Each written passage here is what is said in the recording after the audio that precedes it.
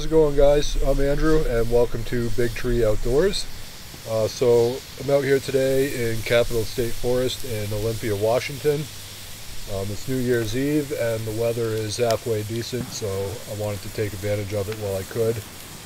Uh, so I decided to come out and just have a fire, hang out, you know, cook up some dinner in a little while, and just kind of relax. Um, there's a lot of other people out here today as well. I'm sure you can hear some of them shooting in the background. Um, so I think a lot of people have the same idea as me. Just get out and relax while the weather's good. Um, yeah. So probably not going to camp. Uh, I like coming out here and finding a place to hang out, but as far as staying here overnight and it, I'm just not feeling it. A lot of the places, a lot of the sites I found are just, I mean, they kind of look like the town dump. This place, even before I picked it up, you know, so I would feel comfortable hanging out here. It was kind of trashy to the point where I almost didn't want to be here, but decided just to move some stuff out of the way uh, and have a fire. I knew about this site from last time I was here, and I knew there was already firewood, so I figured, you know, rather than spend most of the day looking around and not finding anything, I just decided to suck it up and hang out here for a bit. Um, it's kind of unfortunate that's how it is, but what are you going to do? That's, you know, a lot of people treat this place like it's the town dump, so try not to dwell on that too much. It's hard not to. I spend a lot of time thinking about that when I'm out here just because it's, you know, I think a lot of people just look past it and kind of move on with their lives. And, you know, once I leave here, I will too. But when you're trying to find a nice place to hang out, it gets kind of frustrating. So um, I'll leave it at that. So, yeah, like I said, probably to cook some dinner in a little bit uh, and just relax and enjoy the fire for a while. So hang out, and uh, we'll update you when I start to cook. And at some point, I'll probably give you a tour around the camp and just show you what I'm talking about with the garbage. It's from what I've seen so far, it's impossible to get away from around here. So, you know, once uh, once spring hits and I can get back into the Cascades, I probably won't come here again, at least until next winter. Um, so yeah, I mean, even in the Cascades, there are places that are just as trash, but it's not, it's not as common. And you know, in the Cascades, you know, if I see a little bit of garbage, I'll pick it up. Here, I'm not going to waste my time because, like I said, it's you know, some people use these campsites like the town dump and unfortunately, that's not really exaggerating too much. Some of the places it's not exaggerating at all. I've seen multiple full garbage bags just left thrown about campsites. But anyway, moving on from that. So yeah, I'll update you guys when I start to cook. Give you a tour of camp at some point. So sit back and enjoy.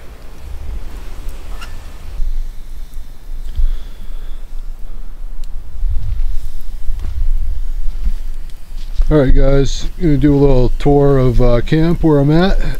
Um, so there's the fire pit.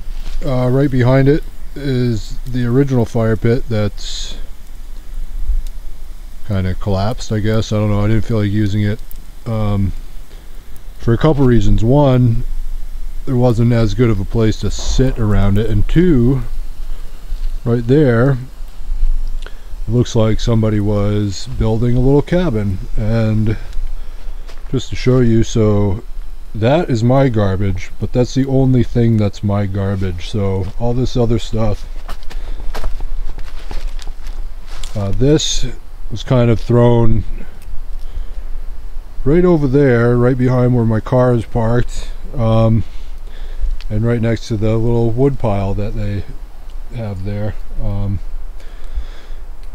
so yeah a little bit of garbage storage I guess um, so fire pit stacked wood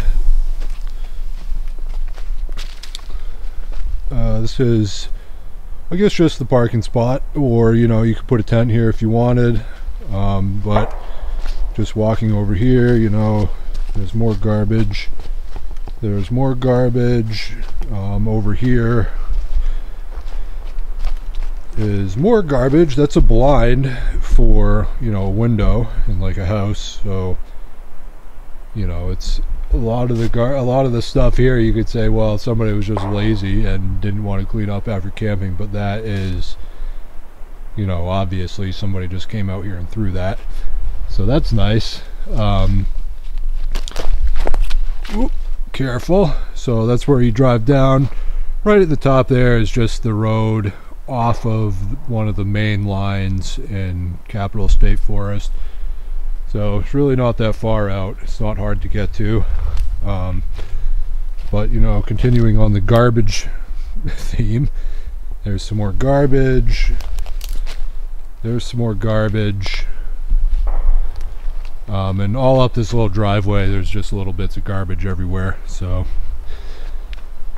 um, it sucks, but it is what it is and like I said before, you know, I'm not opposed to picking up a little bit of garbage here and there in the Cascades. I will. I actually just bought some uh, contractor bags to throw in my car just so when I found some garbage I wouldn't have to worry about a shitty garbage bag breaking and getting garbage juice all over my car.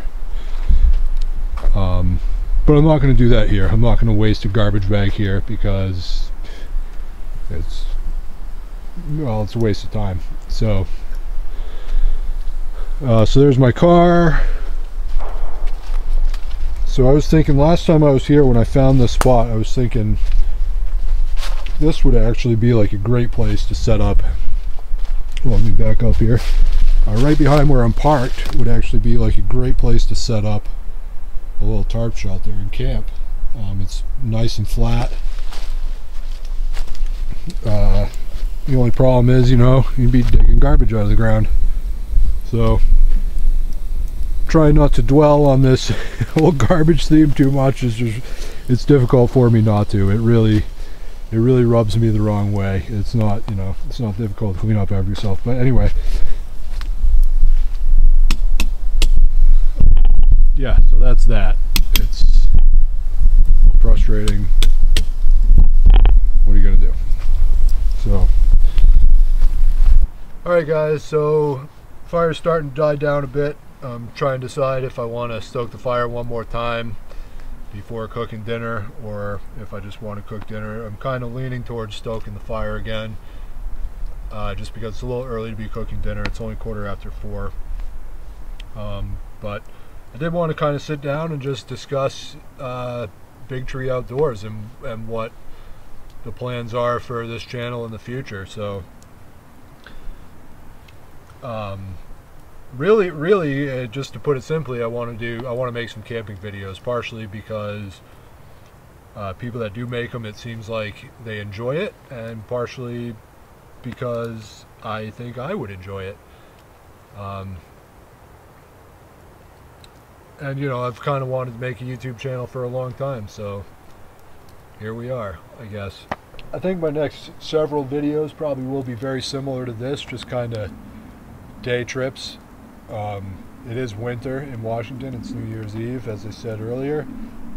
Um, and most of the places that I could get to or would want to get to are not accessible right now, like up at Snoqualmie Pass, there's you know, however much snow they have up there. Um, I spend a lot of time in Greenwater in the summer just exploring the roads, the forest roads around there. They're not accessible, at least at least the ones I'm familiar with aren't accessible and even if they were, you know, the old Crosstrek is not uh, not exactly the most capable rig in the world capable enough that you know I'm comfortable going on the Forest Service roads, but um, yeah, it's no it's no off-roader. Let's put it that way. So, uh, but yeah, so you know maybe a few videos like this just to kind of maybe get in the swing of things, see see how they go. Um, and then in the spring, I'd like to get back into the Forest Service roads and do some more overlanding camping type stuff. Um, I use overland, use the term overlanding lightly again because of the Subaru, which you know it does all right, but like I said, it's it's no off-roader. Um, so yeah, maybe do you know do some of those kind of trips, some camp out trips in a place that isn't basically a local garbage dump. Um, maybe do a few bike packing trips. I'm not real sure I'm going to do that just because a lot of the places I feel like I would want to go, I would not be comfortable leaving my car. Um, and starting from my apartment would be fine for like a shorter trip and a shorter overnight, but that would be kind of more like stealing a page out of Steve Wallis's book and doing uh, like urban stealth camp type of thing. So maybe we'll do something like that as well. We'll see. But yeah, stay tuned. Um, like I said, I think a lot of the content, at least a lot of the content immediately coming up, is going to be more low key, get in the swing of things, see how it goes, and then once spring hits, I'm hoping to do uh, some more actual camp out videos uh, in some much nicer locations. So stay tuned and we'll see what happens.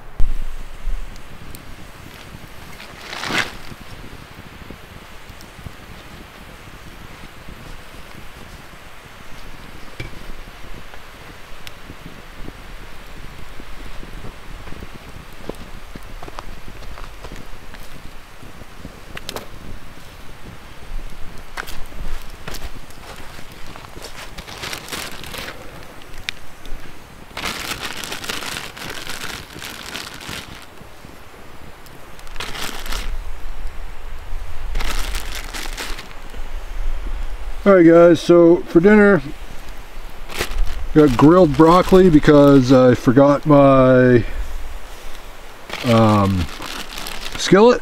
So didn't really plan on doing it this way but that's what I got and I don't want to wait to eat till I get home so some grilled broccoli uh, and some kielbasa. So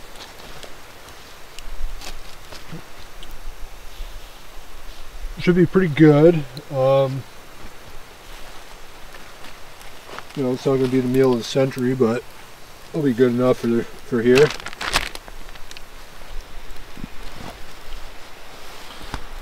Let's give the old kielbasas a check here. Oh, yeah.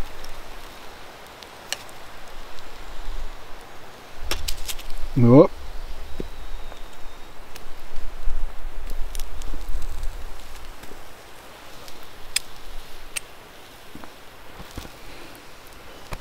Be a little crispy. I didn't think these coals were that hot, but I guess they are.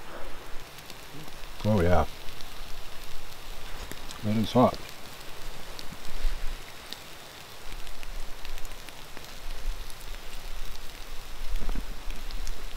Mmm.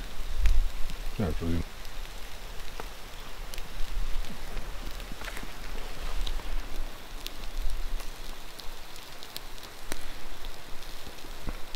Like really good actually. Do broccoli on the grill more often. That's like that was really good piece of broccoli.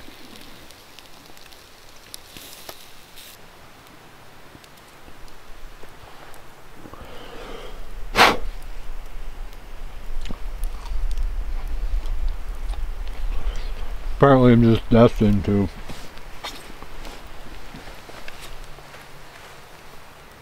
drop all my food today.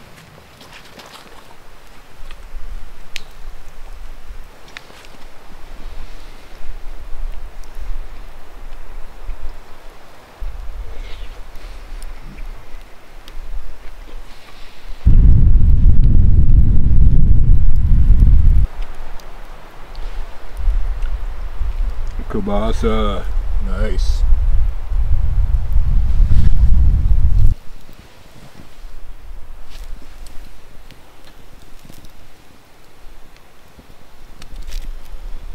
Well, it's like the third time I've dropped a piece of food today. Maybe fourth, I don't know. I don't know that I've ever grilled broccoli before. This is all a little charred, but that's alright.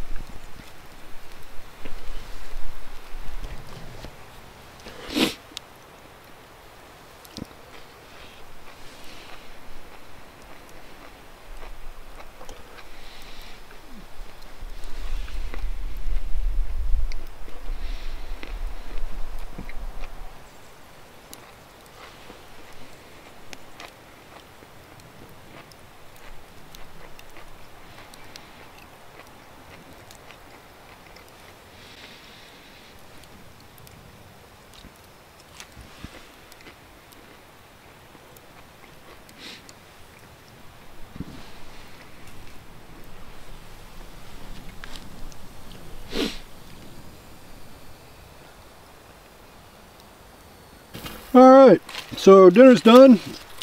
Um, just gonna reorganize my fire here so I can try and burn down these big pieces before heading on out of here. Um, I like to get them burned down as much as I can just so the coals aren't that big. Um,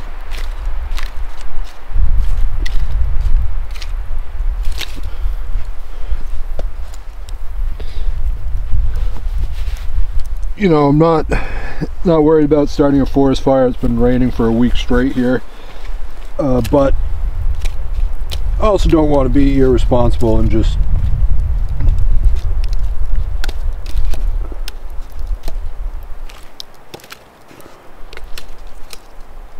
just leave a hazard for somebody.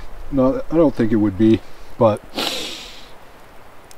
so we'll try and get some flames built up on here again throw the grate on there to burn off any residue so I can throw it back in my bag. Uh, and then once the fire's burned down enough, I'll pretty much be ready to head out of here. Alright guys, so it's pretty much time to head on out of here. Um,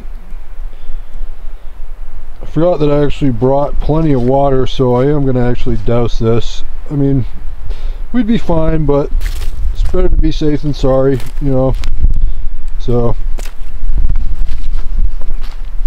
just gonna get this thing kicked down a little bit.